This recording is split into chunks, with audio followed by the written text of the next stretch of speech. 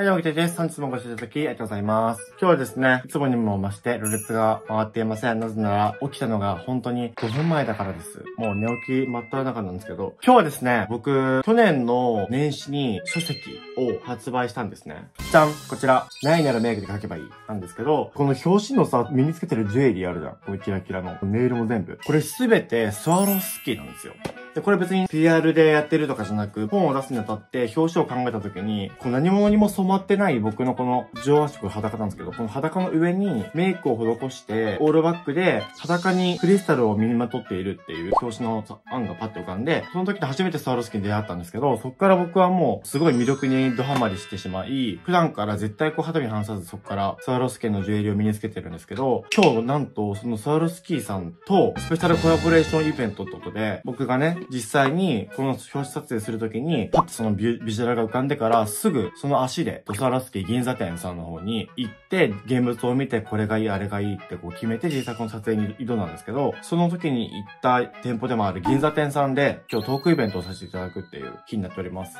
ろれつが回ってないし、頭も回ってないんだけど、もうちょっとしたらレッドブル来るんで レッドブル来たらちょっとまだマシになる気がするんですけど、一旦ね、今日準備していく動画撮りたいと思ってるので、で、その大事な日のメイク準備動画撮っていこうと思うんですけど、見てください、この頬のあざを。何かというと、こんなに大事な日にもかかわらず、僕はですね、来週韓国で撮影があって、その撮影のために肌をね、キュッと引き締めるような施術をしたいなと思って、インモードっていう美容施術をしたんですよ。それは吸引する機械でスポスポ吸いながら肌を引き締めていくみたいな施術なんだけど、吸引するから、こういうね、内出血が僕すごい出やすいので、内出血がね、まだいっぱいあるんですよ。で、それをなんかインスタライブで言った時に、全然目立ってないですね、みたいな。どうやって逆に隠してるか知りたいです、みたいな人が結構多かったので、今日は僕がね、こういう内出血とか、あざとかある時に、どうやってそれをカバーしてるかっていうのをご紹介できればと思って動画回してます。プラス、スワロフスキーのイベントの様子も Vlog として回していければなと思ってますので、ぜひ最後までご覧ください。それでは早速やっていきましょう。スタート。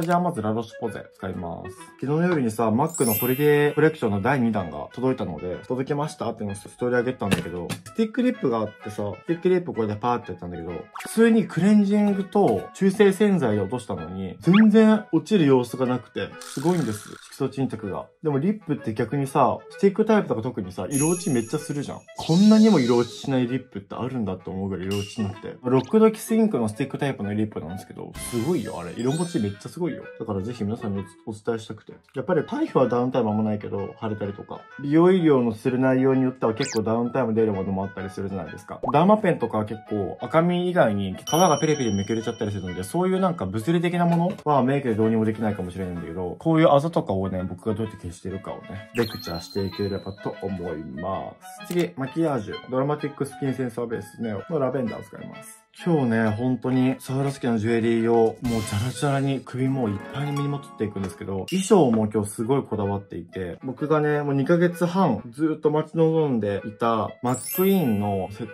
トアップ上下が一体化しているジャケットがあるんですよ。それがね、やっとイタリアから届きましたので、それをね、今日初めて着ていこうと思ってます。マックイーンも僕結構一番好きなブランドとして開けてることが多くて、マックイーンを初めて知ったのは多分、アパレル時代だから22、3とかだと思うんだけど、その頃初めてインスタグラムで、なんて綺麗なジャケットなんだと思って。マックイーンはイタリアのブランドで、テーラー技術というか、服の作り方がすごく独特で、本当に立体的に服を作るので、体にすごくフィットした服が多くて、動きにによってさ、隙がなく動いてくれる感じ？この脇の隙間とかそういうのが全然なくって、いつも本当に技術が素晴らしいなって思うブランドなんですけど、本当に僕は基本的にスタイルアップする服が好きなので、こんなにもスタイルが良く見える服あるんだってぐらい、本当にマックイーンはシルエットが本当にどのブランドよりも綺麗と僕は思ってるんですね。でも、高いんです。本当に高い。普通にハイブランドなので、僕からしたらもう憧れのブランドだったんですよ、昔からしたら。家賃5万円のアパート住んでる頃、YouTube 始めたばっかぐらいの頃は、もちろんその服買う余裕ないので、憧れのブランド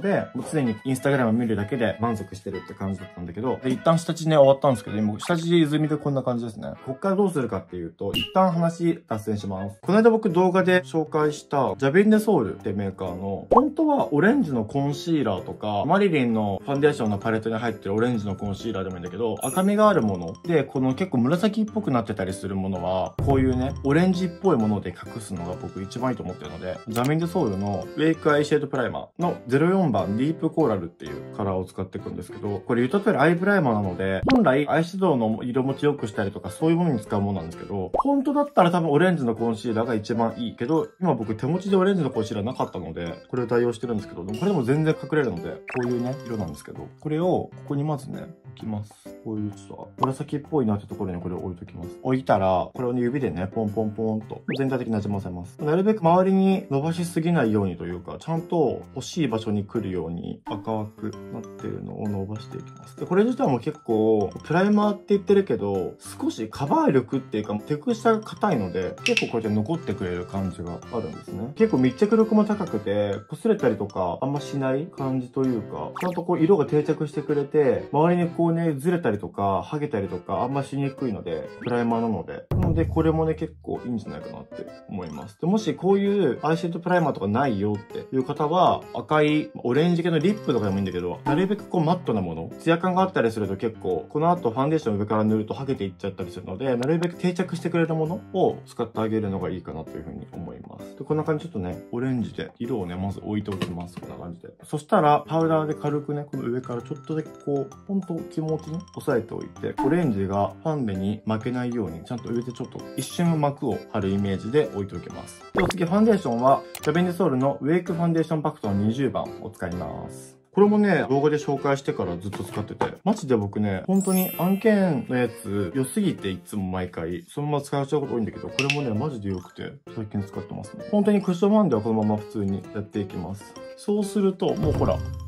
これカバー力がそもそもあるのはあるんだけど、さっきのオレンジをかませるだけで、もうこれだけでも結構カバーされるんですよ、ほら。さっきのオレンジ挟んでなかったら、やっぱり透けるのよ。このパンでやっぱ綺麗だからな。ピアノとか全部なくしてくれる感じするんだよな。何が入ってるのか不思議なぐらい。ほら、1回のファンデーションだけで、こんな綺麗にカバーされます。カバー力ももちろんこれあるんだけど、ほくろとか隠せるぐらいのカバー力じゃないし、めちゃめちゃカバー力高いってわけじゃないんですよ。なんだけど、やっぱ赤みをね、まず置いておくと、綺麗にカバーされていくので、本当におすすめだよっていう感じですね。あで、その、憧れのやつだったんですけど、こういう活動を続けていくにあたって、だんだんとね、給料がちゃんと入ってくるなってなってきた時に、仕事が順調に進んできたなった時に、初めてマックイーンのジャケットを買ったんですよ。初めてこういうお仕事をした時に、いただいたお給料で買ったブランド品って、洋服で言うと、やっぱマックイーンで一番最初に買った思い出があって、ずっと憧れてたから、それが買えるのが本当に嬉しくて、自分の頑張りを実感できる瞬間だったんです、それがすごく。っていうところからずっとマックインはよく普段から身につけることが多くて、毎シーズン服のデザインが本当に好きだから、コレクションしてる気分というか、この服を持っておきたいって感じ。だから、本当にどこに着てくんだよみたいな服もたまにあったりするんだけど、でもそれもデザイナーさんが好きだから僕が持っておきたいっていう。この時代のこの服を僕が持っておきたいっていう、コレクション願望みたいなものが多分発揮されてて、去年の多分秋冬のシーズンだと思うんだけど、僕が今回買ったやつが、日本に入ってなかったから、イタリアからね、取り寄せてもらって、やっとお迎えできましたっていう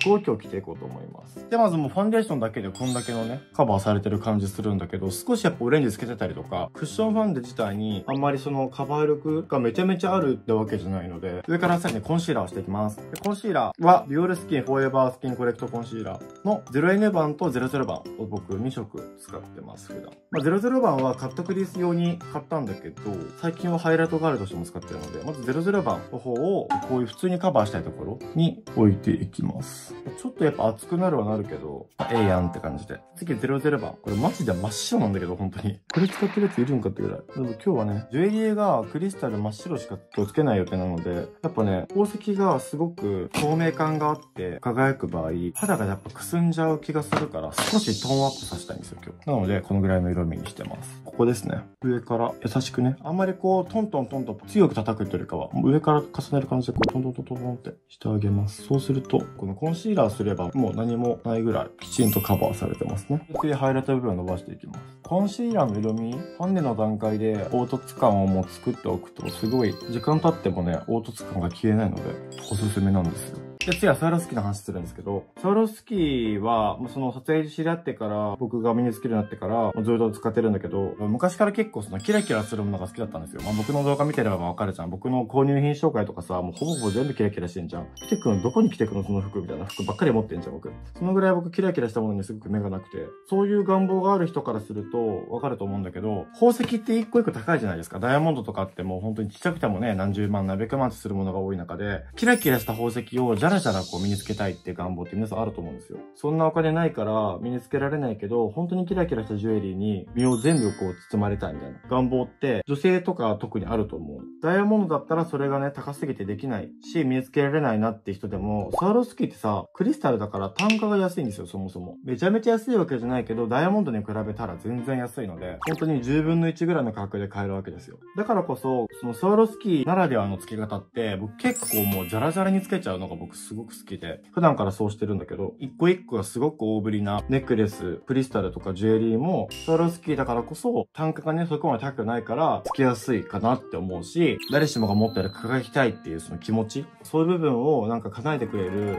ジュエリーだなってすごく僕思うんですよ。そこがね、一番の魅力だなと思いますし、逆にそのカジュアルな服、T シャツとかデニムとかに大ぶりなクリスタル合わせるっていう使い方も僕すごく好きだし、そういう部分でね、本当に昔から思い描いてた夢、駄菓子とかについてるようなさ、おもちゃの指輪とかさ、あるじゃん。そういうものを大人になってから身につけられる、そういう夢を叶えてくれるようなジュエリーだなと思うので、それが僕素晴らしいなと思ってて、サーロスキャのジュエリー身につけると、本当に皆さんね、顔がね、パッと明るくなるんですよ。僕もやっぱつけたらすごい自分に自信がもっともっと湧くし、胸張って歩ける感じがするので、自分が輝けるような気分になるのが、やっぱソウルスキージュエリーの一番の魅力かなって僕は思うんですよね。で次、ファンデーションはいつも通り MAC のモイスチャーファンデーションを使います。さっきのね、コンシーラーした後の状態、でも全然ほら、全く見えなくなってるから、全然このままで、ほうれい線部分だけとかにパウダーして、ツヤ肌のままメイクもできるんだけど、僕はね、マット肌が好きなので、さらにこの上からしていきます。まあ、イベントなので、一点のあらも見せたくないってことで、最近僕はあの、マキアージュのお白い剣パウダーファンデを使うことも多いんだけど、今日はね、よりカバー力を出していきたいので、こちらの MAC のものを使ってますね。何もないですよ、もう。青技なんて。どこへやら。今日はそんな僕も普段からめちゃめちゃ愛用しているスワロスキーさんとコラボレーションができるなんて。スワロスキーでトークショーしてるって聞いたことなくて、初めてじゃないかなと思うんだよね。こういうイベントするの。本当は2部制になってて、一部がその僕のファンの方が抽選の50名様が入れるっていうイベントになってて、で、2部は本当にこう普段からスワロスキーを買ってるスワロスキーの顧客さん向けに僕が出演するっていう、一部2部で2回公演が今日ある感じになってますね。こうやっていつも僕はあざを隠してます。だから本当に僕、美容医療、まあ、よくたまにするし、ダウンタイムあるものもたまにあるんだけど、内出血とか、まあ、多少の腫れも全然何にも思わないんですよ。あれで隠せばいいかって。もうすぐ頭で、コスメが頭にポンと浮かぶので、あのコスメでいいやってなる。本当に頭の中にね、あの、百貨店開かれてるから、あのブランドあのコスメで隠れるわとか、手術してるさ、美容ナースさんがさ、え、大丈夫？みたいな。こんだけ内出血ひどくて、撮影とかできる？みたいな。明日撮影って言ってたけど大丈夫？みたいな。と言われても、全然平気ですよ、みたいな。全然大丈夫なんで。メイクは魔法です。で、次、シェーディング、トゥークルフォースクール使っていきます。ここからも普通にいつも通りのメイクなので、本当にさっきの工程挟めば、あざとかは隠せるかなって感じですね。あれでももしあざが隠せれないよって人は、僕が昔よく使ってた、マーシュフィールドっていうメーカーのクリームタイプのファンデーションとか使うと、あれ絶対カバーできるんで、タトゥー隠せるぐらいのカバー力なんで、あれを使ってあげたら、もう100%隠れるかなっていうふうに思いますし、それでももし隠れない人がいたら、もう多分、隠れるよ、絶対それで。一応まあ隠せてるし、上からパウダーファンデしてるので、もうね、下から浮き上がってきたりとかしないんだけど、予備というか、あんまり擦れすぎると、ファンデーション剥げていっちゃうこともあるので、なるべくそのカバーしてるよっていう箇所は、ちょっとこうポンポンする形で、こういう感じで、チェージングしてあげると、崩れにくいかなというふうに思いますね。しかもさ、今日スワロスケのイベントあるじゃないですか。今度明日、初めて新潟でイベントがあって、またそれもトークショーなんだけど、ありのままの自分について僕が語るっていう講演会なのかなを初めてね、新潟の長岡でやらせていただくことが決定してまして、明日はね、朝から新潟に行きます。基本僕日帰り。来週の韓国の撮影も日帰り。日帰りじゃないわ。一泊だった。韓国日帰りは、鬼畜すぎる。なんかたまにこうマリリンチで、自治とかフジと集まってお泊り会とかしてる時あるんだけど、そういう日も僕は一目散に帰りますね。お泊まりしたとしても、本当に朝すぐ帰っちゃう。やっぱね、ルシウスが心配。もちろんなんか遠隔で見れるように、なんかカメラとかあるし、ご飯もさ、遠隔であげれるんだけど、心配っていうかまあ、僕が会いたいだけなんだけど、今回も衣装はね、僕が自分で持っていくので、一部二部で身につけるジュエリーを変える予定だから、そうなったら衣装も変えた方がいいんじゃないかなって思うんだけど、どっちもシルバー系というか、ホワイトのクリスタルだから、まあ、変えなくてもいい気がするけど、っていうところですね。で、唇がね、爆発されてるので、このアガリスのリップ使います。プランパーですね。唇荒れすぎなんだよな。ぷくってするのこれおすすめ。ちょっとレッドブル取ってくる。レッドブルー。翼を授けてください。僕に。眉毛ですね。それからエクセル使います。最近でもイベントが多くて嬉しいんですよね。実際会うとさ、より気持ちが伝わってくるというか、それぞれがちゃんとなんか普段から僕のこと見てくれてるんだなって感じがすごくするというか、実感できる感じがするのですごく好きで、最近頻繁にできてて嬉しいですね。というか、イベント前に僕 YouTube 撮ってるじゃないですか、こうやって動画。それってさ、もちろん準備するところを撮りたいっていうのもあるし、動画を投稿しなければ僕はご飯食べていけないところもあるから、そういった意味でも動画撮ってるんだけど、シンプルにさ、トークショーとかするときにさ、急に舞台パッて立ったらさ、喋れない時とか結構あるんですよ。結構リハビリになる、この動画撮影って。だから、イベント前とかに動画回してるのは、ろれつがちゃんと回るように練習というか訓練してるみたいな感覚も結構あって、そういう風に使わないよって思うかもしれないけど。ごめんね。付き合ってください、僕のこのリハビリ生活に。なんか動画でこうやってもう永遠喋り続けるのは本当に得意なんですよ。なぜなら僕は一人遊びが好きだから。なんですけど、人前でやっぱ喋るってね、僕緊張したんですよ。だから今日どんなメイクにしよう全然決まってね。服がフォーマルな感じというか、ソウルスキー銀座店ってなんかあんまり派手にしていきたいってよりかは上品で洗練された感じにしたいので、あんまりなんかギラギラとか派手な感じにしたくないんですよ、僕。なるべくなんか落ち着いた感じにしたいから。アイブロウパウダーはマキアージュのパウダーを使ってます。もうクリスタルだから、やっぱね、本当はなんかストーンつけたいなって思ったんだけど、ストーンつけるのもちょっとなんか時代じゃない気がするし、なんかジャケットの感じと多分合わない気がするから、今日ストーンをつけるかつけないか仕上がり次第なんですけど、でもシャドウは結構シルバー系にしたいなって思ってて、キラキラな感じで。なんせ最近さ、ホリデーコレクションがさ、いっぱい届くんですけど、今年のホリデーすべてもうシルバー推しなんですよ。イブ・サンローランのさ、クリスマスコフレもさ、ほら、わかる？めっちゃシルバーじゃん？で、昨日届いたこのさ、ヘラ。このパケやばいこの、パケ優勝すぎる。このヘラのやつも、ほら、結構この、まあ、シルバー系。マックのね、ホリデーは。まあ、これはシルバーじゃないけど、パケがシルバーじゃん？だから結構ね、いろんなブランドさんがね、全部やっぱシルバー推しとくとしは。そういうね、シーズンなのかなと思うんだけど。だからシルバーのシャドウは使いたいと思ってますね。で、次、眉毛は、エクセルのスキニーリッチライナーのグレージュで毛を描いていきます。今日の眉毛も結構リリシック今日の眉毛もってさ、いつも紹介してるけど、毎回リレシクって言ってる気がするからさ、今日とか多分ないんだよね。常にリレシクしてるんだよね、僕。それいつも思うわ。いや、普段からやんけって。今日とかじゃないやんけっていつも毎回思ってる。みんな多分そう思ってると思う。前頭部分を少しパウダー薄めにして、毛のね、存在感をわかるようなメイクにしてます。こんな感じで。綺麗だね。あとミラーが本当に汚い。霊的に。鏡が汚いとダメですよ。ちゃんと顔が見えないから、汚い鏡に映ってる映ってる自分の顔を見続けるって良くないと思う。ちゃんと細部、お、すごいね、綺麗えー、こんなに綺麗だったこの髪。てかさ、眉毛サロン開きたいんだよね。僕が嫉妬するわけじゃないから、僕別に免許持ってるわけじゃないし。でも、やっぱ僕以上に眉毛を知り研究して、自然な毛流れとかを意識して、毎日生活してる人いないと思うんだよ。だから僕すごい眉毛に詳しいと思うの。だから僕がさ、アイブロウサロンとかさ、眉毛のサロン開いたら絶対人気になると思うんだよね。誰か協力してくれる会社さんいたらお話しください。でもなんか共同経営とかじゃなく、僕が自分で運営していきたいんだけど、その手はずをね、皆さんどうやって知るんだろうって。お店開くって大変じゃないかなって。最近、深川っていうさ、YouTuber いるじゃん。脱毛サロンオープンしてて、今度聞いてみようかな、深川に。さあ、次、シャドウですよ。どうしようかなスモーキーな感じようにするか。ウェイクメイクのパレットを使います。16色入っててさ、カラー多いやんと思うじゃん。これさ、縦一列で使うといいように作られてるんだって。だから今日はこの列を使ってみる。で、ラメこれ使ってみる。それをさ、した時にさ、すげえと思って。だからこんな使いやすいのかと思って。そんな風に思いました。この上からね、順番に使っていく。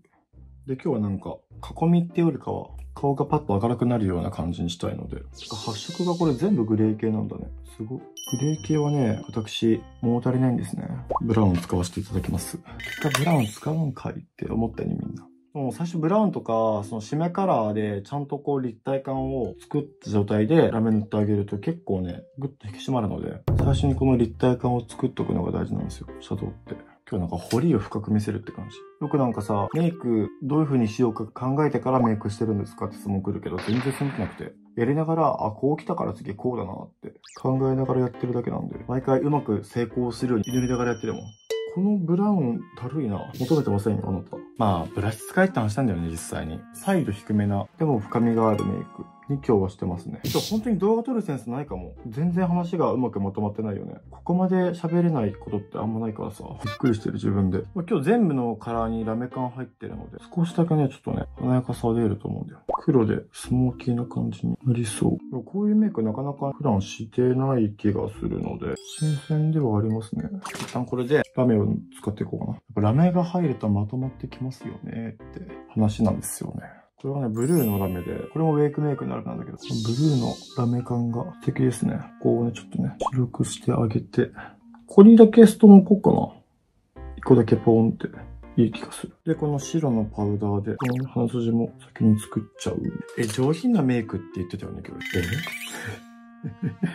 上品とはって感じなんだけど、成功へ向かっているのかなっていう感じなんだけど、それがちゃんと成功に収まるのがゲテメイクなんだけれども、大変不安なままメイクをしてますけど、時間がないのでとりあえずメイクを終わらせなければいけないんですね。アイライナー。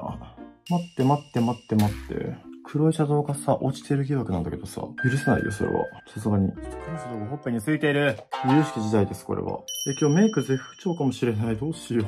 その時はね、グリッターをつけるんだよ。グリッターでまつげの存在感をなくしてあげるんだよ。こうしたら本当にまつげってあんまりほら、失敗したってわかんなくなるでしょ。ラメ綺麗だなーってなるんですよ。まつげ失敗した時は、ラメで飛ばしてあげるっていうね。まあ大事ですよ。で、下にラメ使った時は、上もね、足してあげると統一感出るのでおすすめ。ストーンつけなくてもいいかもしれない。そんでもって、ウェイクメイクのアイシェードプライマーの、これは何番だ ?9 番。色味をまずなくしてあげてから、マックのハグミつけます。で次、ミスト。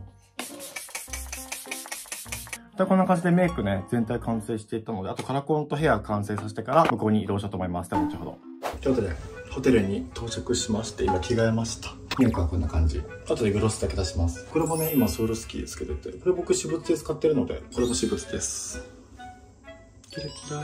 こういう感じです。今日の衣装は。アレキサンダー・マックイーンのジャンプスーツなんですけど、背中がね、バン開きです。ちょっとお肉がやばいけど、っていう服になってます。で、このジュエリーはスワロスキーのジュエリーです。こういったお洋服になってます。新しくこのボディタイプのジュエリーが来てまして、セクシーな感じに仕上がっております。ありがとうございます。これ僕も普段からよくつけている イヤーカフのスワロタイプで、これほんと使いやすくて、どれでも合わせられちゃいます。ちょっとだけスプレー買っちゃってもよろしいですか？後頭部が僕絶壁なので、それだけいつもこう、ふわっとさせてるんですよ。ウィッグってなんかその形がそもそも変につけてるやつがあって、それをこう自分でいい感じのボリュームを出すっていう。皆さんどうぞ。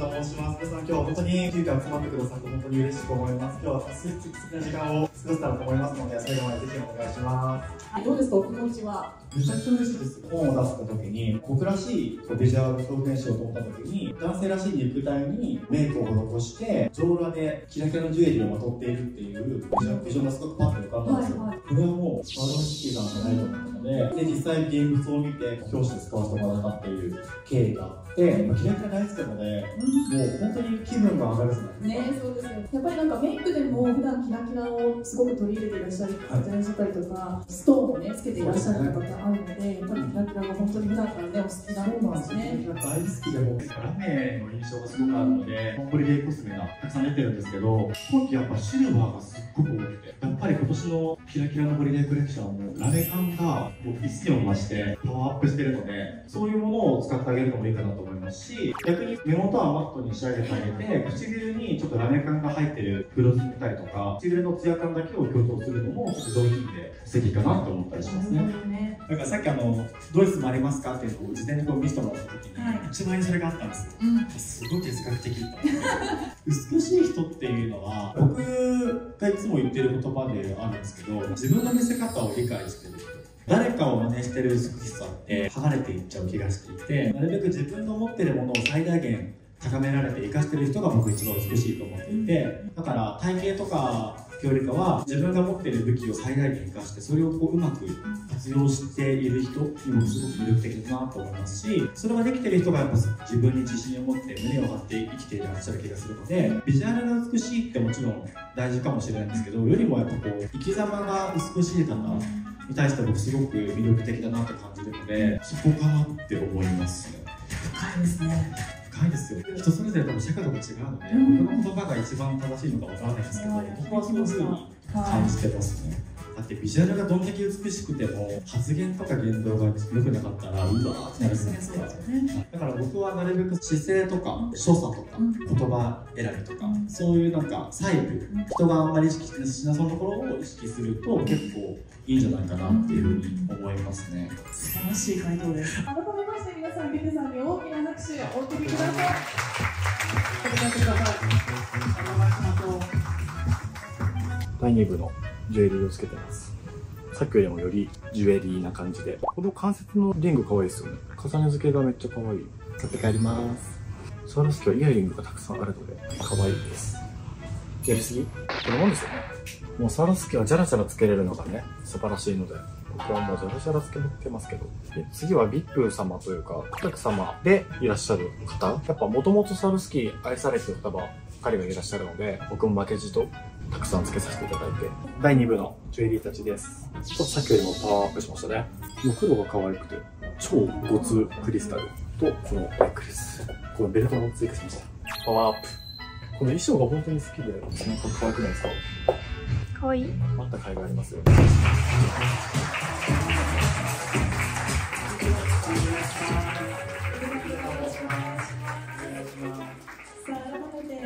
皆にご挨拶お願いいたしますはい、メーカーパーツと美容クリエイターのリカと申します。本日は最後までお願いします。はいよろしくお願いいたしますそうですねはい、ということで、お家の方に帰ってきましたって言ったとこなんですけど、今これ別日に撮ってます。本当に最近 Vlog とかよく撮るんだけど、最後の終わりを撮り忘れることめっちゃ多くて、それだけ別撮りしてるんですけど、編集中に。今はね、12月の5日ですね。全然違う日です。すいません。サラスクのイベントの動画見てもらったと思うんですけど、本当にたくさんの方が来てくれて、一部に分かれたんですけど、一部の方はファンの方とお会いすることができて、結構急遽だったのに、たくさん集まっていただいて本当に嬉しかったなと思いますし、2部はスワロスケの顧客様、なおかつ僕のファンの方に会えるという感じで、2部の方では僕が実際にこう選んであげたりとかそういう特典がある回だったので、いろんな方とお話しながら、これがいいですよ、あれ似合いますよって言いながら選んだりとかできたのですごく楽しかったですし、仕事をメイクの仕事する前に8年ずっとやってたんですけど、人に物を選ぶのがすごく僕得意でめちゃくちゃ好きなので、これ似合いますよとか、こういう顔立ちで、こういうメイクとかこういうファッションだから、このアクセが似合いますよって、なんかアドバイスできたのがすごく楽しかったし、またそういうイベントできたらなって思ったりもしたので、違ったまた自分の可能性が見出せたイベントかなと思います。しかも本当にサワロスキー大好きで、その後さ、買い物をして帰ったんだけど、月のシリーズがやっぱ本当に可愛いから、月が満ち欠けしてる、このね、ネックレスとこちらのペンダントタイプのネックレスと、あと、月の指輪も買いました。3点セット購入したので、最近よくつけてるんですけど、本当にそれもすっごい可愛いし、よくお揃いで買ってくださってる方もいらっしゃるんですけど、ぜひぜひ本当にサワロスキーも今後もね、大好きなので、今後ともお仕事でもまたご一緒できれば嬉しいなと思いますし、僕もすごく愛用しているブランドなので、別にこれ、あの、案件とかじゃないからね、本当個人的なやつなんですけど、自分がすごく大好きで普段から身につけているサワロスキーさんとこうやってイベントができて本当に嬉しかったですし、またできるように僕も頑張りますので、はい、という感じです。以上、締めでした。ありがとうございました。今度から締めのコメント忘れずに撮るように頑張ります。バイバーイ。